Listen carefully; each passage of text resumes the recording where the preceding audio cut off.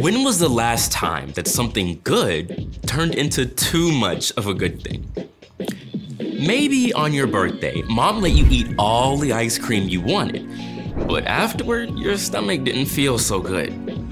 It could be you got an awesome new game, but you couldn't stop playing even after lights out. And the next morning, you could barely get out of bed. Or maybe you love to make your friends laugh. What gives you the power to walk through walls? A door! but you can't stop doing silly things in class, so you get in trouble with the teacher. God has given us so many good gifts to enjoy and good things to do, but even the tastiest food or most fun activity can cause trouble if you don't know when to stop. And just knowing what's best isn't enough. You have to actually do it. Choose against one more scoop. Put down the game. Truth is, none of us are good at showing self control on our own. We need help. But here's the good news self control is a gift of God's Holy Spirit. When we ask God for help and choose to keep walking with Jesus, it becomes easier to make the wise choice. To say no when a good thing becomes too much. When you can tell God, I will remember that your way is better, and you live it out, others can see God at work in you. That's why self control is an amazing way to worship God with your life. Because worship is about more than just singing loud, it's all about living loud.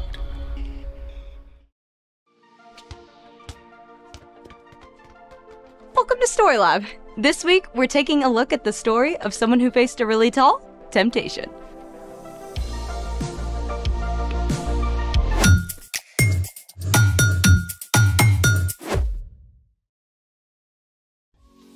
I'm Skylar. And I'm Sanjay. This month, we're talking about how we can trust God to help us do what's best. Some decisions are easy, like should I try out for a sports team? If you like being active, competitive, and spending a fun time with your friends, the answer is an easy yes. But some decisions can be difficult. Like trying to decide which sport to try this year basketball, soccer, or volleyball. All three balls are kind of similar. But the actual games are pretty different. So many options. Uh, what am I gonna do? You have just spoken the secret phrase! Secret phrase? What did you say? I said, what am I gonna do? You have just spoken the secret phrase again! And now you've initiated a choice challenge! Oh, like practicing choices? Yes! Today's decision making game is meal or no meal. Are we talking real food here? Because I can always use a snack. Let's play it!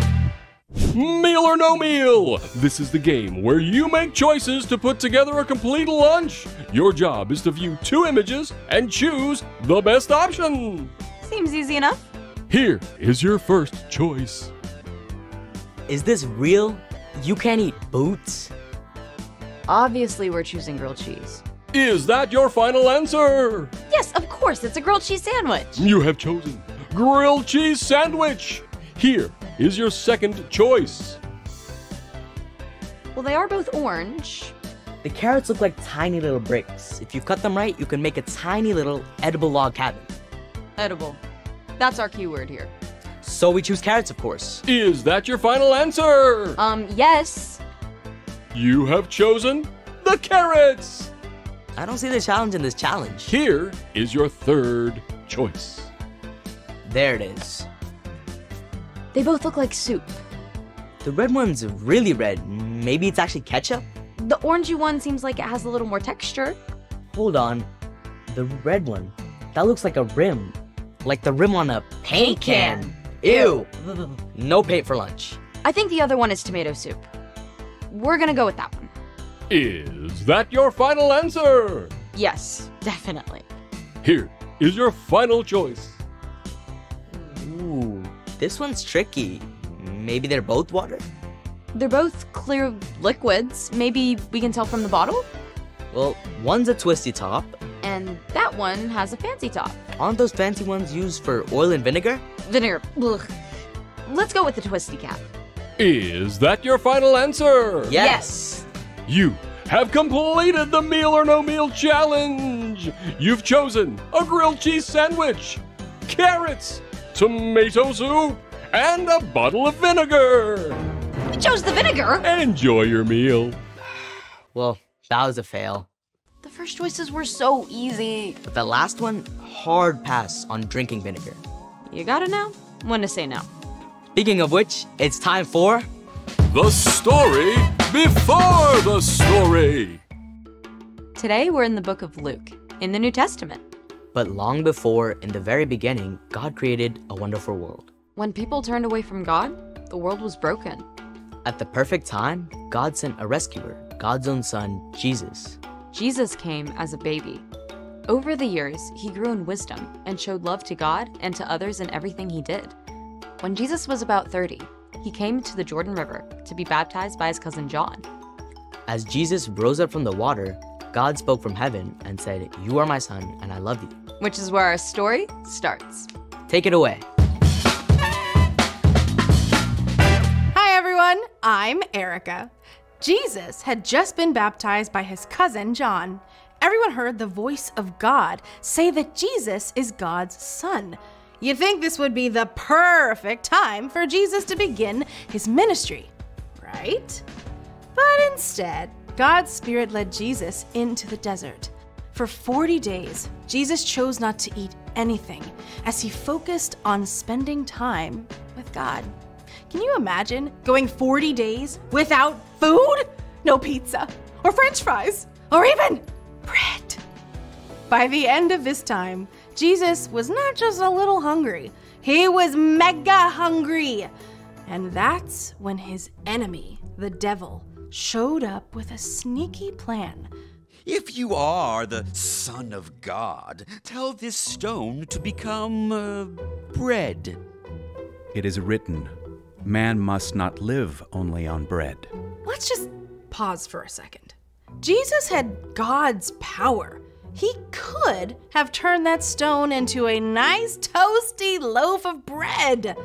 But Jesus knew the devil was tempting him to take the easy path. Jesus had spent his whole life studying scripture and learning God's words. They were rooted deeply in his heart. So, in the moment, Jesus knew exactly what to say. But the devil wasn't done yet. The devil led Jesus to a high place and, in a flash, showed him all the kingdoms of the world. I will give you all their authority and glory. I can give it to anyone I want. If you worship me, it will all be yours. It is written, Worship the Lord your God. He is the only one you should serve. Again, Jesus had God's words in his heart and mind. He was ready to respond. At last, the devil led Jesus to Jerusalem, to the highest point of the temple. If you are the Son of God, throw yourself down from here. It is written, The Lord will command his angels to take good care of you. They will lift you up in their hands. Then you won't trip over a stone.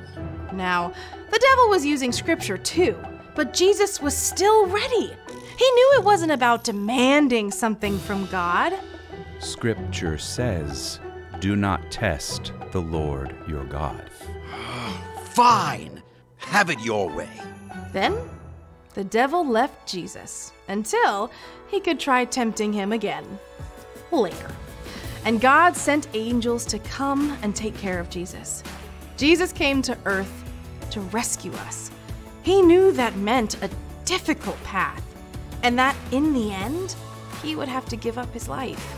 The devil was tempting Jesus to take the easy way out, but Jesus had spent his life studying and understanding God's words. So when the time came, he was ready to make the hard choice and do the right thing. The end. No food for 40 days? Yeah, I can't imagine going 40 more minutes without lunch. When I'm hungry, I don't usually make good choices. You and me both. But Jesus had practiced doing the right thing for a long time. So, What's our part in the story? Well, Jesus faced some incredibly difficult choices. but he had spent his entire life preparing for that moment. God's words were ready in his heart and in his mind, so he was able to show self control. Self control is about choosing to do what's best, even when you don't want to. That's right. And just like Jesus, we can spend time discovering who God is and what God says, so we can be ready to do the right thing. So that's reading the Bible and memorizing verses, right? Absolutely. But it also means talking with your parents and other trusted adults about what God says. It means asking lots of questions. You can even get ready for tough choices before they even happen. Good point. Like, you know that sometime in the next few days, your little brother will probably do something that frustrates you. Maybe he wrecks your Lego set. I'd want to scream if that happened, or maybe even throw something. That's the moment where you ask God for help. You can remember that God wants us to be kind to each other and forgive one another, just like God forgives us. Or maybe your mom just made these delicious chocolate chip cookies, but she says you can only have one before dinner. But then she leaves the room and you really, really want two cookies.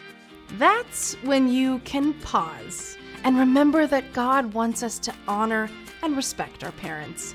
So you can ask God for the self control to listen to your mom. And stop at one cookie. You got it. I think you're both ready. To do the right thing? See you next time. So here's the thing be ready to do the right thing, All this choosing is hard work. right? Makes me thirsty. Want one? Is it vinegar or water? Both water, I promise.